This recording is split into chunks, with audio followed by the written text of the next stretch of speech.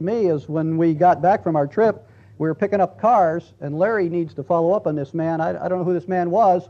Uh, me and another fellow were talking, and this man just walked. I didn't even know someone else in the parking lot.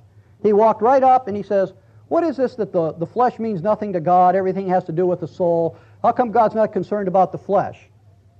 And, and I didn't know I didn't know who this guy is. I didn't know if he knew I studied Scripture. Uh, he, that, he, no introduction. That was his statement to me. And I says, well, our flesh is sinful, and only after we trust Jesus Christ as our Savior can does God save us from our sin and put His Spirit within us, and then our bodies are useful to God. And he goes, oh, okay. And then he says uh, um, something about, uh, does that mean then that all, all the good works that we do, it means nothing to God? And I said, yes, that's true. If you're not saved, if you haven't believed in the blood of Jesus Christ as the payment for your sin, all the good works you do in life do nothing to please God. Uh, so that they that are in the flesh cannot please God. And uh, but after you get saved, according to verse, no, we're going to have trouble with this again. Our, verse 9 there tells us that we're not in the flesh. God doesn't see us in the flesh, if so be that the Spirit of God is in us. And when you trust Jesus Christ as your Savior, you're, you're taken and you're put into Jesus Christ, and God no longer sees us in our flesh, He sees us in Christ. And, and therefore, the work that we do in the flesh now, it says down there in verse 12, but if the Spirit of Him that raised up Jesus from the dead dwell in you, he that raised up Christ from the dead shall also quicken your mortal body. A mortal body is the body that's yet going to die. It's a body yet subject to death. That the Spirit of God that raised up Christ from the dead dwells in us, and that same Spirit is able to make this body, quicken it, making it alive unto God. But it's not us, it's the Spirit of God living and working in us that allows this body to be a vehicle that brings glory to God. And, uh, and so then afterwards, I talked to this man about his salvation because he's asking the right questions. Uh, but unless he gets saved, he, he, he'll never be useful to God. And it starts with salvation. I say that to you because if you're starting with us in Romans chapter 8, there's something else that's more important than Romans chapter 8 for you. And if you go back to Romans chapter 5, I'll show it to you. Romans chapter 5, it said it brings a conclusion of the first five chapters, or at least the first four chapters of the book of Romans and it makes a, a, a, real profound statement in just a very short verse. Romans chapter 5 and verse 1 says, Therefore, being justified by faith, we have peace with God through our Lord Jesus Christ. Being saved means to be declared righteous before a holy God. If you would have read earlier in Romans chapter 3 and verse 23, you find out that there's none righteous, no, not one. There's none that doeth good. The Bible says all have sinned and come short of the glory of God. And so you and I will never reach God's standard. We will never be good enough in ourselves to be declared righteous before a holy God.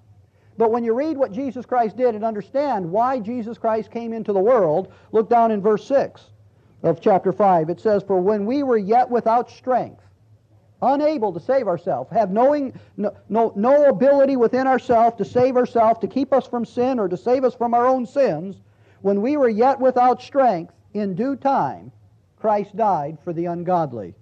Well, that's what a sinner is, is someone who's ungodly. It says, For scarcely for a righteous man will one die, yet peradventure for a good man some would even dare to die. The problem is there's none righteous and there's none good. So it says in verse 8, But God commendeth his love toward us, in that while we were yet sinners, Christ died for us. And Jesus Christ came into this world at the due time when, when the Bible has pronounced and convicted and condemned the whole world under sin, Jesus Christ comes into the world and he dies on the cross, and the Bible tells us why he died. He died for our sins. He took our place, he was our substitute, and he hung and died on a cross. He who knew no sin, the Bible says, was made sin for us. God took our sins and laid them on the Lord Jesus Christ, and He died on the cross, and He paid for our sins so that our sins could be taken away before the eyes of a holy God. Not just, God didn't just close His eyes to our sins, He laid them on Christ, and Jesus Christ paid for them so that the sins are taken out of the way. They're paid for. And now, when you believe on the Lord Jesus Christ, that He did that for you, that he died for your sins, was buried, and rose again, God the Father imputes to you the righteousness of Jesus Christ, puts it to your account. He actually sees you, as you learn in Romans 6, he sees you in Christ. And God then declares you righteous on the basis of faith. That's what it means in Romans chapter 5 verse 1. Therefore being justified by faith.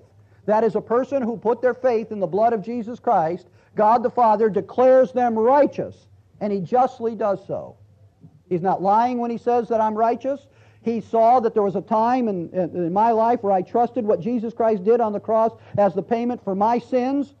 And God put to my account the righteousness of Jesus Christ. And when he says justified, he's right. Because I'm declared righteous in Christ. And God's the one who declared me righteous. My sins are forgiven. I'm declared righteous in his sight. And therefore I have peace with God through our Lord Jesus Christ. Now that's what Romans 1 through 5 is about. Now after you're saved, God continues to work. And when you learn in Romans chapter 6, is that when you've trusted Jesus Christ as your Savior, you are by the Spirit placed into Jesus Christ. The term in Romans 6 is baptized. And it has nothing to do with water baptism. It has to do with the Holy Spirit of God placing us into Jesus Christ. Not baptism into water, but baptism into Christ. And the body, therefore, being dead so that we could live to, for God. Romans chapter 7, we learn that by the newness of the Spirit we are to walk according to, uh, uh, to God's grace rather than the oldness of the letter. And what that means, and you'll learn about it a little bit more as we go into Romans chapter 8, is that the oldness of the letter, men used to live according to the law of God. But now there's, God is dealing with us in a, in a new way. In Romans chapter 5, in verse 2, uh, verse 2 it says, By whom also we have access by faith into this grace wherein we stand and rejoice in hope of the glory of God. And not only so, but we glory in tribulation also, knowing that tribulation worketh patience, patience experience, experience hope, and hope maketh not ashamed, because the love of God is shed abroad in our hearts by the Holy Ghost, which is given unto us. When we became justified by faith, God put His Holy Spirit in us. That's the first, the reason I had to go back there to chapter 5, that's the first mention of the Holy Spirit in the book of Romans and, and it's not mentioned again, except there's a walking in the newness of the Spirit in Romans chapter 7, and it's not mentioned again until the Holy Spirit's ministry until you get to Romans chapter 8, and there's where we're learning about the ministry of the Holy Spirit in our life. We learned in Romans chapter 6 that we're placed into Christ's death so that we can live a newness of life. Romans chapter 7 says that we don't walk in the oldness of the letter, we walk in the newness of the Spirit. There's a new way to live for the Lord today, and it's not according to the law, it's according to the newness of His Spirit that He's given to us.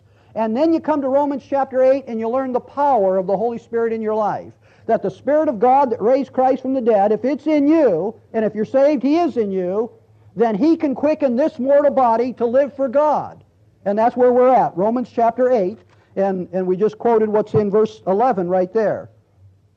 Uh, verse, uh, verse 10.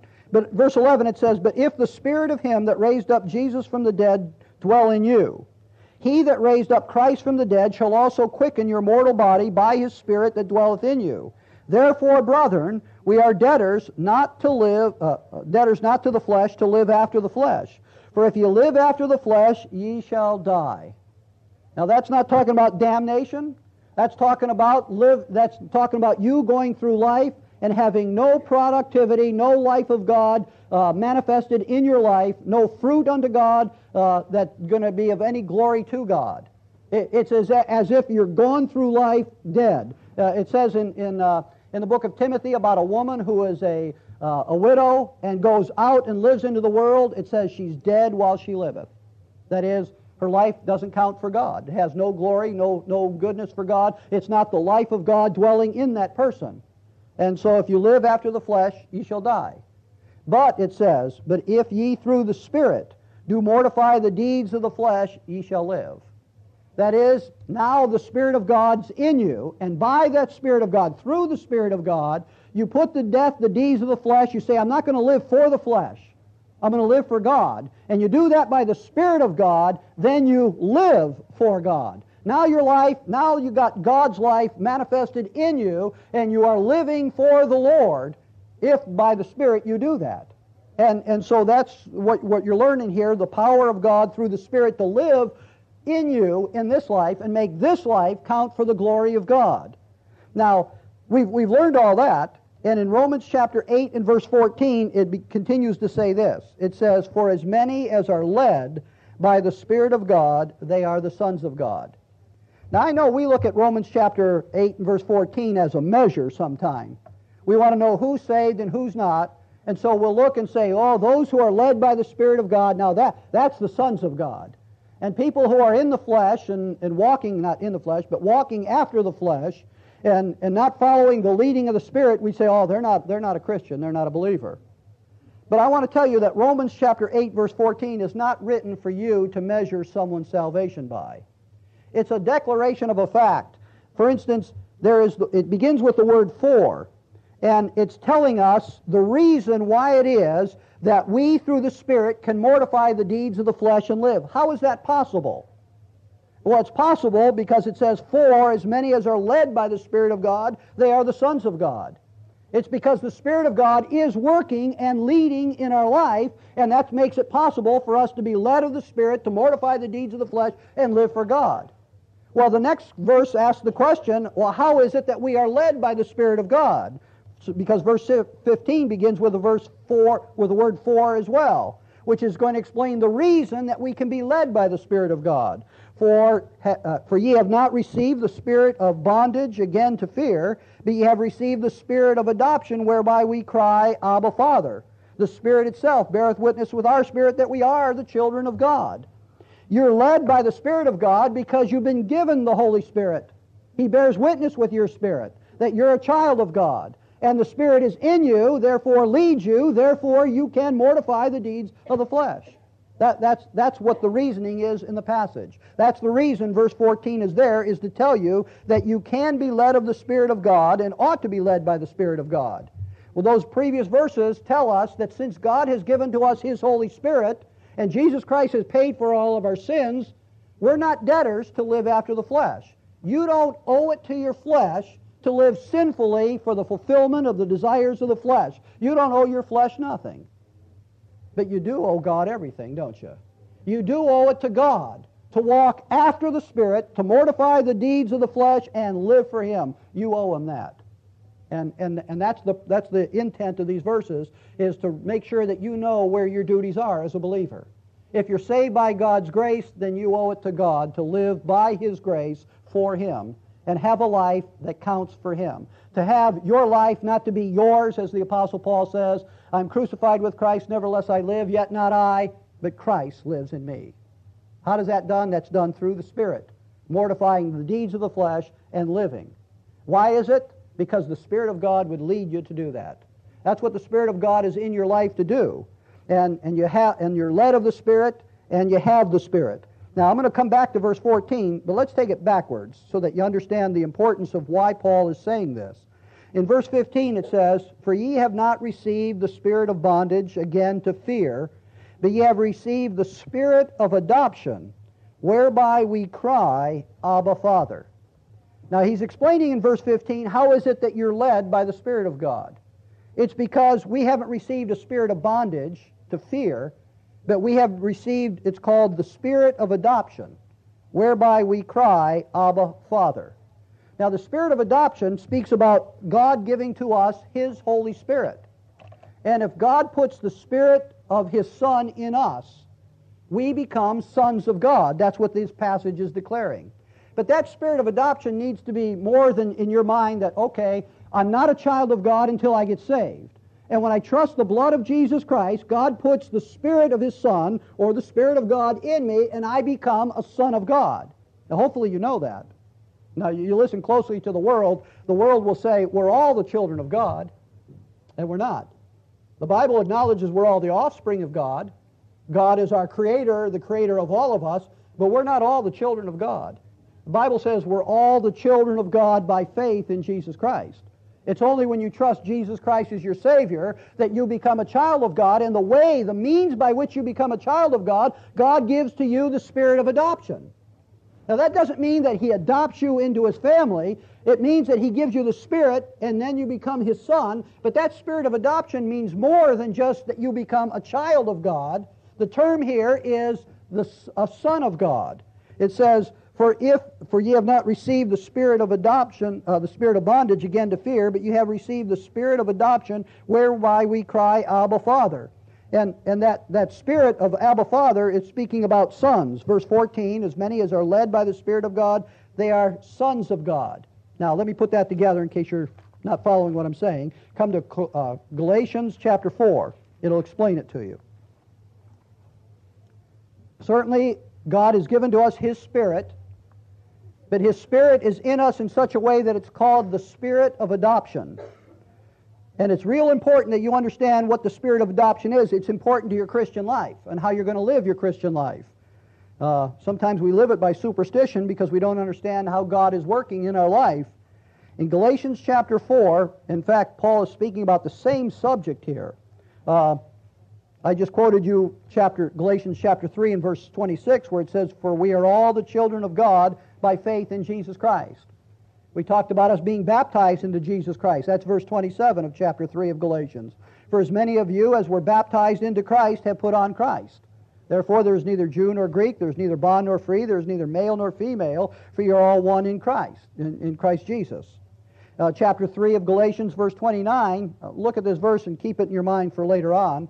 It says, and if, ye be, and if ye be Christ, that is, you belong to him, then are ye Abraham's seed and heirs according to the promise. Now, what promise is he talking about? Well, look back in the same chapter, chapter 3, and verse uh, 21. Is the law against the promises of God? God forbid.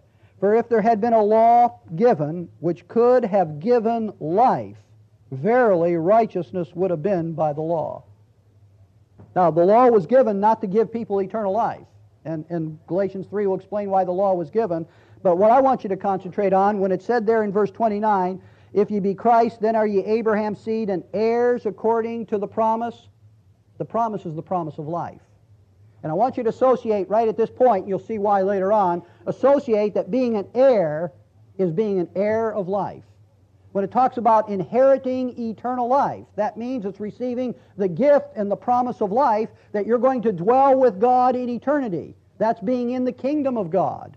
And being an heir of life is, is, is what it's talking about there, that if you, be, if, if you be Christ, then are ye Abraham's seed and heirs according to the promise. Heirs of life. Now, Romans, Romans chapter 8 is going to be talking about heirs. It says, if children, then heirs. That's, I'm getting ahead of myself, but I wanted to show it to you there. But, but the first thing that it taught in Romans chapter 8 is about the spirit of adoption. That we are led by the Spirit of God. We're not brought into bondage again to fear, but we have received the spirit of adoption whereby we cry, Abba, Father. Well, Galatians 4, verse 1 is going to explain the spirit of adoption. Now I say that an heir, as long as he is a child, differeth nothing from a servant, though he be Lord of all. Now, you take a rich home and you take uh, uh, an eight-year-old boy, maybe the first son of a, of a man who has a great fortune, to pass on to a son. Well, if his son's only 10 years old, even though he is an heir, he differs nothing from a servant. He's told when to get up, when to go to bed, when to go to school, when to study. He's told everything. He's, he's always constantly, constantly dictated to what to do and when to do it. So he doesn't, even though he's heir, he differs nothing from a servant. Though he be Lord of all, he's going to inherit everything of his father. It says, until, it says in verse 2, but is under tutors and governors until the time appointed of the father. In Jewish custom, there's a time in which a father would say, okay, my, my child, my son, is no longer going to be looked at as a child. He's now uh, of an age of accountability, and I'm going to acknowledge he's no longer a child, he is a son. And, and what that is, that is, a, that is a time in which the Father is going to bestow upon his Son all the rights and privileges of heirship. That no longer is the servant going to tell him what to do and when to do it. As a son, he is now going to be responsible for his life, and he is going to take control. He's going to take some authority. He is going to receive some responsibility and accountability because he's going to be treated as an adult now, no longer be treated as a child. And so the servant's going to be pretty careful of how he talks to this man's son because the son's no longer a child, he is a son. And that, that, that is what it's talking about here. There's a time appointed of the Father in which that is so. Now, verse 3 says, Even so we, when we were children, were in bondage under the, ele- uh, under the elements of the world. But when the fullness of time ca- uh, was come, God sent forth his Son, made of a woman, made under the law, to redeem them that were under the law, that we might receive uh, the adoption of sons. And because we are sons, God has sent forth his Spirit into our hearts, uh, crying, Abba, Father. Therefore, ye are no more servant, but a son. And if a son, an heir of God through Christ. Howbeit then, when ye know not God, ye did service unto them which are by nature no gods. But now that ye have known God, or rather known of God, how is it that ye, uh, that ye again turn to the weak and beggarly elements whereunto you desire to be in bondage? And what he's warning the Galatians is that you're no longer children under the law, so why do you go back to that? There came a time in which God sent Jesus Christ forth into the world. He took care of our sins, and He has given us the spirit of adoption whereby we cry, Abba, Father. We have God's Holy Spirit in us now, and we no longer have to live under the elements of the law. We are now considered sons of God. And what sons of God are is someone who's not dictated to what to do and when to do it. We have God's Holy Spirit in us, maturing us to know what we ought to do. What, what do you do with a child is you teach a child when he's young what's right, what's wrong, what he ought to do, what he shouldn't do, and, and what he should do. And there comes a time in his life, then now he's held accountable for doing it. And, and that's what God has said we are in the progress of time. We who have trusted Jesus Christ as our Savior, we're no longer dealt with by God as children. We're dealt with by God as sons because He has given to us His Holy Spirit. And the Spirit in, of God in our life with the completed Word of God available to us, we are now held responsible to make up some of our own decisions on how to live for God. We don't go back to the weak and uh, beggarly elements of the law. We make some decisions. You know, I prayed for you today before you got here. I prayed not that, that you would come here because this is Sunday and at 11 o'clock or 10 o'clock, whatever you choose to do, on Sunday, this is the holy day, this is the day the Lord's made, this is the holy Sabbath day, and you come because you're obligated to come on Sunday. None of that is true. And I prayed that none of you would be here today for that reason. But you know what? I, I also prayed that you didn't stay home. Because I prayed that as responsible sons and daughters of God, that you would realize there's some decisions you have to make in life and that you can make the right decision and God would have his saints assembled together, that the church is a place where we come and are comforted and edified and exhorted by one another and built up in the holy faith, and since you're a son of God and you can make your own choice whether to stay home or not, whether to worship Saturday, Sunday, Monday, Tuesday, Wednesday, whatever you want to do, but that today was an available time set aside for the saints to meet together, I pray that you would make the right decision to be here this morning. But you see the difference between living under the law and living as a son of God? The spirit of adoption, whereby you have been given God's word, you know what right and wrong is, and you've be given the Spirit of God so that you could say no to the flesh and yes for God, so that you don't have to live a dead life. You can live the life of Christ here and now. That you would make that choice and mortify the flesh and live. But that's a choice you make. God, that, God is dealing with us in the age of grace by Him giving us His Holy Spirit today. We're being dealt with in a new way. And that's why Romans chapter 8 is saying, as many as are led by the Spirit of God, they are sons of God. The emphasis in that verse is being led. Why are we led? We're not under bondage again to fear, but we have been given the spirit of adoption whereby we cry, Abba, Father. Because we've been given that spirit of adoption where we can address God as Abba, Father, by the way, outside of Romans 8, Galatians uh, 4, where you see this witness of crying Abba, Father, Abba, Father is only mentioned one other time. I think it's in Mark, where Jesus Christ addresses God the Father when he's praying in the garden and he says, Abba, Father. Abba is a, is, is a term that's not just a term that's Father, like our Father which art in heaven. It's a term that, that, that talks about dearness and closeness in relationship. It's one that up until this point only Jesus Christ ever addressed God the Father as Abba Father.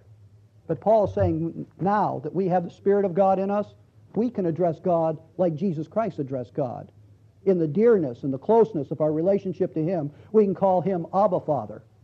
And you know, with the spirit of adoption in us, it doesn't mean that we make up our own minds apart from the wisdom of God. If we're an adult son, the best thing an adult son can do is when he faces a situation that he doesn't know what to do, you know what he does? He asks the father, Dad, I'm in a situation here, and uh, what would be your advice to me? That's what a responsible, mature son would do in a case that he doesn't know what to do. He turns to the father. and God would have us turning to Him and crying, Abba, Father.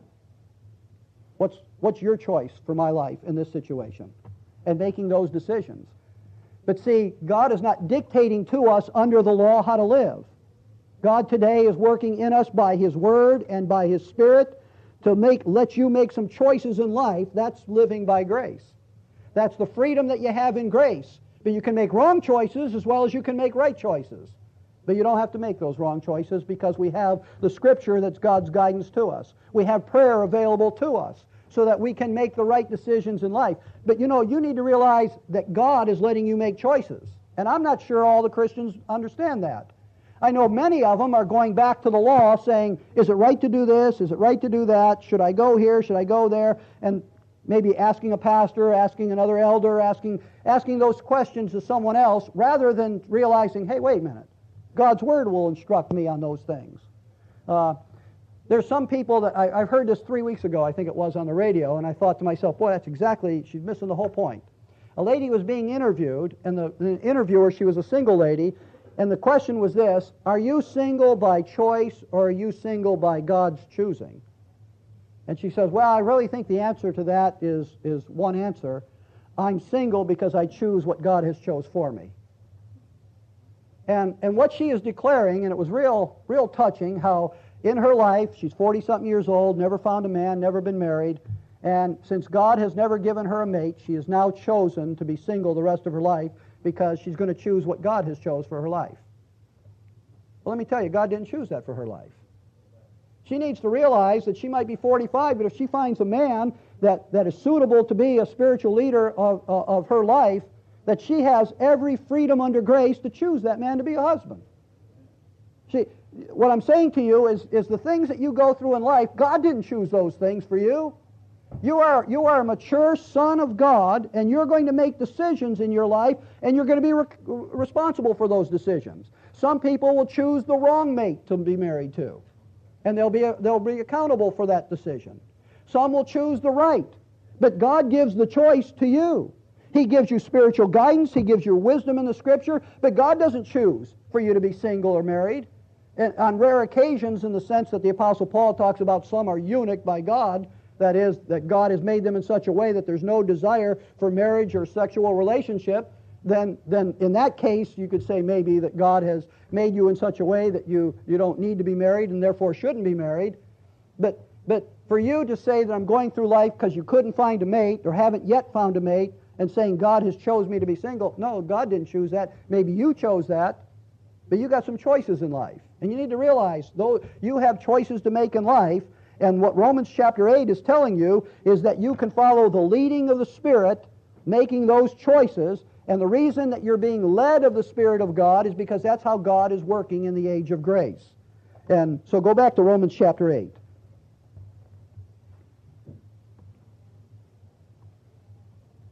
That's why it's declaring about mortifying the flesh. The reason you can mortify the, uh, through the Spirit, can mortify the deeds of the flesh for as many as are led. That's what the Spirit of God is doing. By the way, not all believers will follow that leading. But Romans chapter 8, verse 14 doesn't say, for as many as are following the leading of the Spirit, they are the sons of God. I think that's how we read it all the time. But it's saying, for as many as are led by the Spirit of God, they are the sons of God. You know who the Spirit of God tries to lead? Everyone that, that he has been given to by God. He didn't just single out to lead one and not the other. Every child of God who has the Holy Spirit, the Holy Spirit leads. The trouble is, some children will to choose to walk after the flesh, to grieve the Spirit, to quench the Spirit, and not follow the Spirit. But the Spirit is leading every one of them so that there's no excuse. And they don't, you don't have to walk after the flesh. You can walk after the Spirit because the Spirit is there to lead you.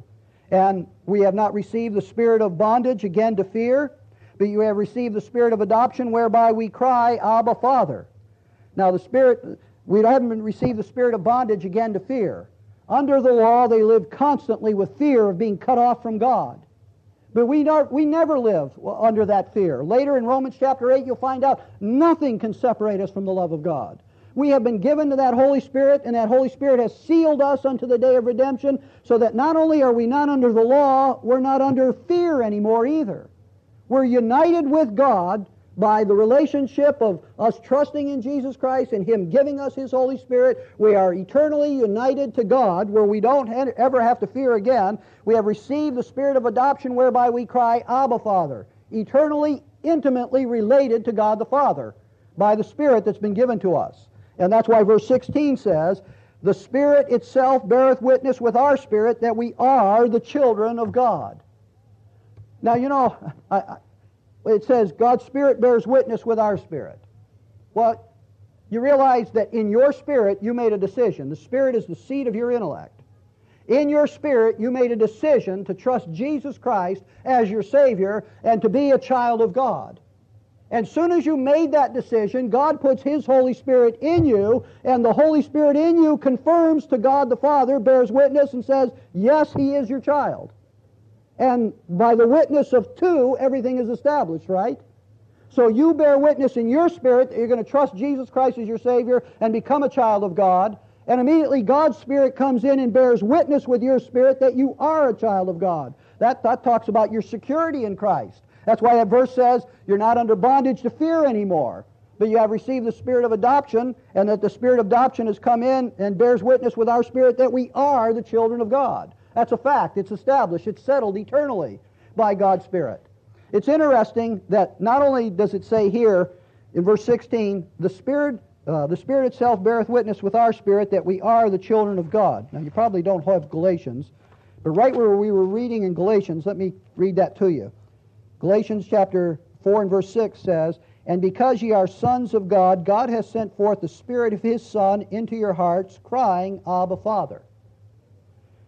According to Galatians 4 6, the Spirit of God in you cries, Abba, Father. According to Romans chapter 8 and verse 16, the Spirit itself beareth witness with our spirit that we are the children of God. Our spirit is declaring that we are a child of God, and it bears witness with our spirit. Both myself and the Holy Spirit is crying out, Abba, Father, bearing witness that we are the children of God. Now, so we have this eternal uh, life given to us from God, and we are children of God. And verse 17 of Romans chapter 8 says, And if children, then heirs now remember, I asked you to think about what it meant to be an heir.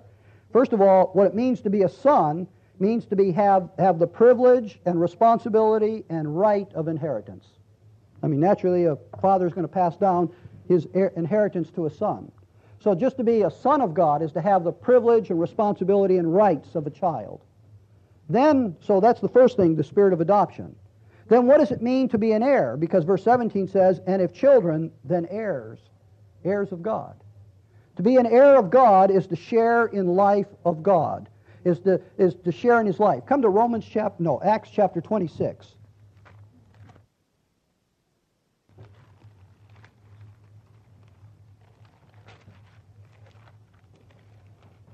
Now, perhaps you're not familiar with the fact that the heirship of eternal life was something that was promised to the nation of Israel. I think of the rich young ruler who came to Christ and said, what good thing must I do to be saved? And Christ says, If you will inherit eternal life, you must. And he talked about them inheriting eternal life, and of course, they were approaching God under the law. But when you come to uh, Acts chapter 26, the Apostle Paul is talking about his conversion on the road to Damascus. That took place after the Lord ascended back into heaven. And, and after there's a continued ministry to the nation of Israel, in Acts chapter 9, Jesus Christ from heaven reached down and saved a man called Saul of Tarsus and, and called him to be Paul, the apostle of the Gentiles. Now, the Gentiles, that's what we are. The nation of Israel are the Jews. We're the Gentiles, that is, every other nation uh, that wasn't Jewish. And God saved the apostle Paul, and it says uh, that when the Lord appeared unto him, it says in verse 15, and I, and, and, and I said, Who art thou, Lord? And he said, I am Jesus, whom thou persecutest. But arise and stand upon thy feet, for I have appeared unto thee for this purpose, to make thee a minister and a witness, both of those things which thou hast seen, and of those things in which I will appear unto thee. So the Lord not only appeared to the Apostle Paul on the road to Damascus, but he says, I'm going to appear to you more and give you more reason, more things to say and to testify about me. But he says here, delivering thee from the people, that is, God says, I'm going to deliver you from the Jews and from the Gentiles, unto whom now I send thee, to open their eyes, to turn them. That is, Paul's going to be sent to us Gentiles to open our eyes, to turn us from darkness to light, from the power of Satan unto God, that they might receive the forgiveness of sins and an inheritance among them that are sanctified by faith that is in me. Israel was receiving the heir, the, the, the inheritance of eternal life. And God saved the Apostle Paul and says, I'm sending you to the Gentiles to open their eyes, to turn them from darkness to light, so that they might receive an inheritance among them that are sanctified by faith that's in me. That us Gentiles might have an opportunity to believe on Jesus Christ and receive eternal life, to become an heir of, of life.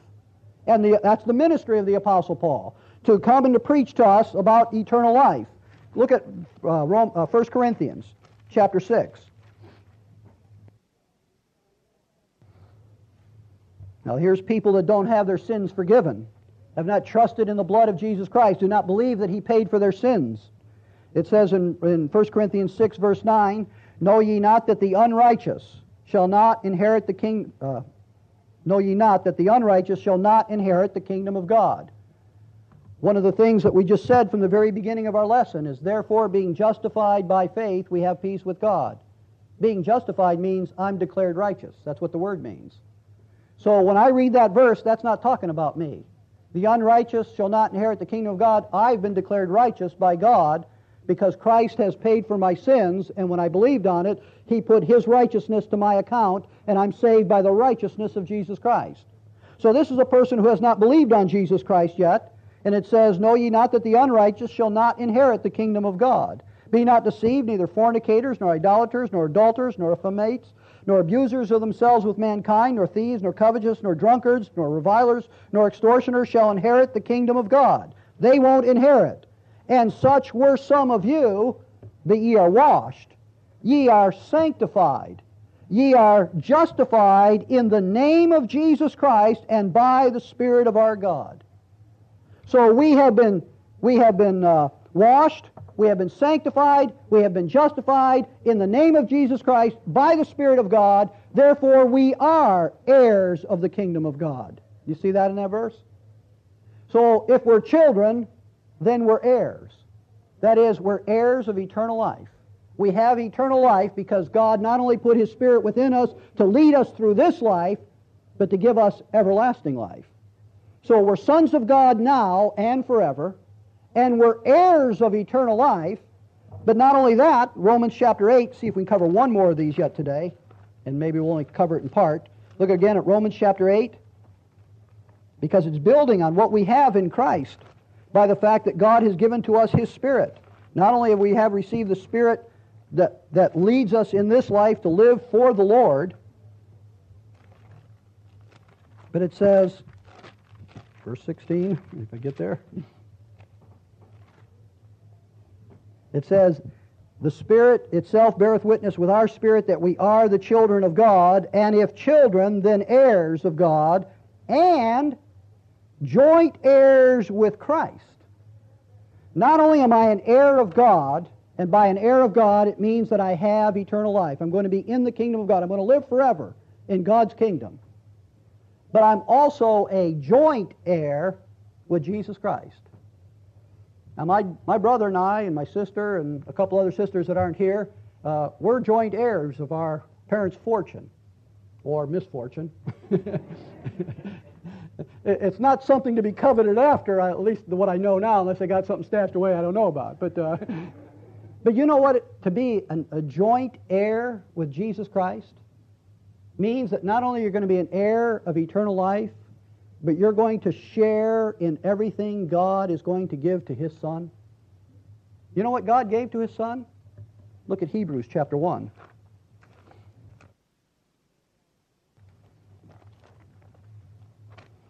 In Hebrews chapter 1,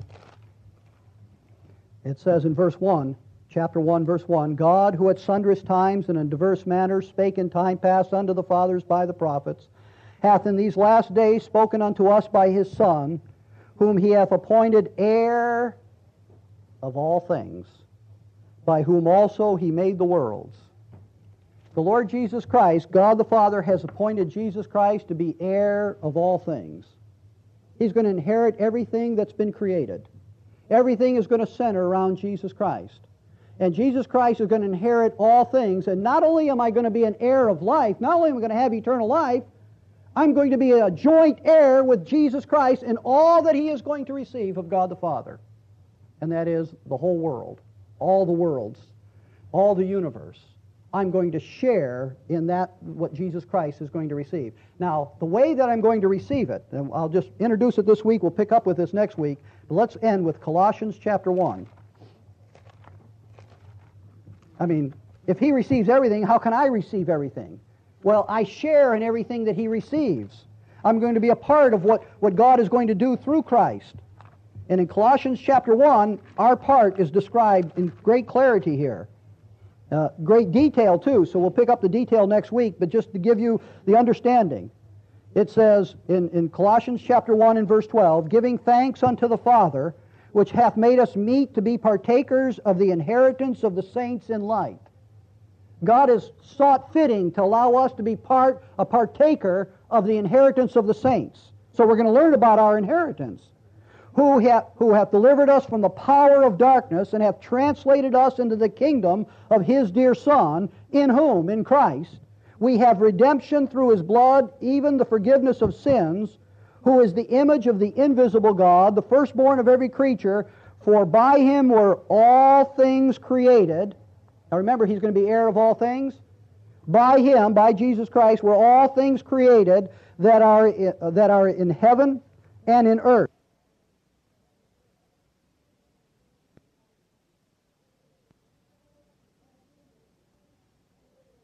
Visible and invisible whether they be thrones, dominions, principalities, powers, all things were created by him and for him.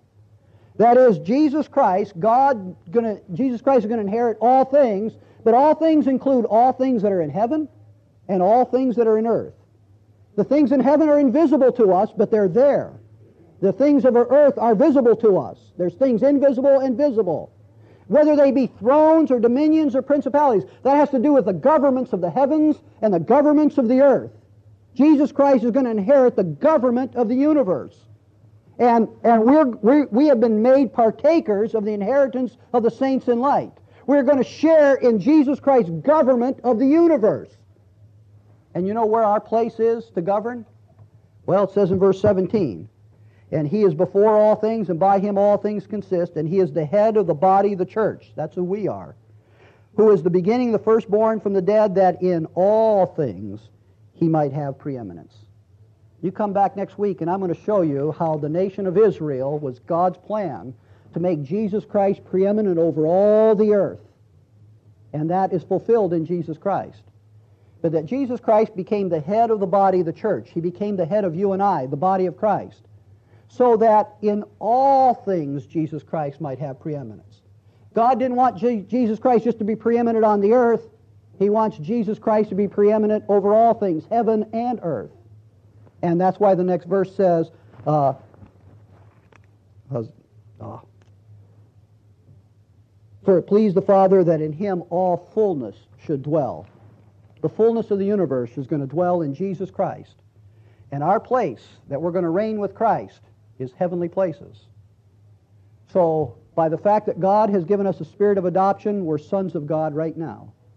By the fact that, that we have been made children, we're heirs of God, we have, we, have, we have the inheritance of eternal life. But as a joint heir with Christ, we have a reigning position in the heavens throughout eternity with Jesus Christ.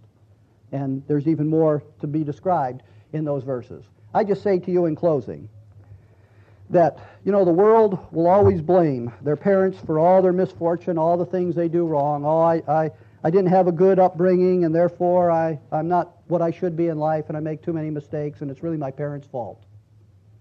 And you know what I say to those people? Well, you're an adult, grow up. Quit blaming the past. If you're an adult, make right decisions and grow up, make them right now. But you know what I say to you as a believer?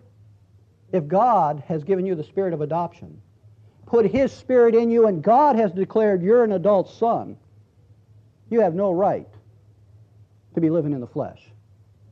Who are you going to blame when you live in the flesh? Your dad? God the Father? No, you have no one to blame but yourself choosing to walk after the flesh. If He's given you that spirit of adoption, what I say to you, grow up in the faith. Grow up spiritually and live for God. Let's pray. Our Heavenly Father, we pray that, uh, that we've been challenged by your word to realize what you have given us in Christ, not only the forgiveness of sins, but the power to live a holy life. And Father, that, that you have given us a life eternal, an inheritance of life, and you've made us joint heirs with Christ. Father, may we realize what rights, privileges we have in Christ, and therefore what responsibility we have to live for you, even now. We pray this in the Savior's name. Amen.